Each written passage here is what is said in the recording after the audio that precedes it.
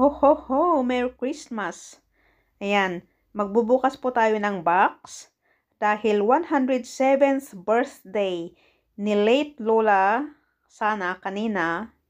ah, kahit wala po siya, ay yung mga apo, nagdala po sila ng mga foods at nag-celebrate po kami dito kahit wala po si Lola.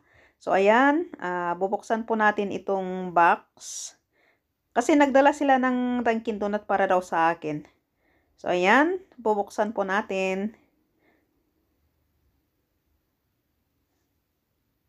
Daran! Ayan po, iba't ibang flavor, iba't ibang design. May smiley, may Oreo, may OB, may chocolate chips on top, may I Love London, at may pink. Siguro itong pink is strawberry flavor. Ayan po guys. Ayan, ang kakapal ng mga icing, parang sobrang tamis naman nito. Ayan, more calories pa. So, thank you so much, Luis, sa aking Dunkin Donut. At ayan po guys, thank you, thank you so much sa inyong panonood. Um, God bless everyone. Thank you. Mega love shout out sa inyong lahat. And love you all. Bye-bye.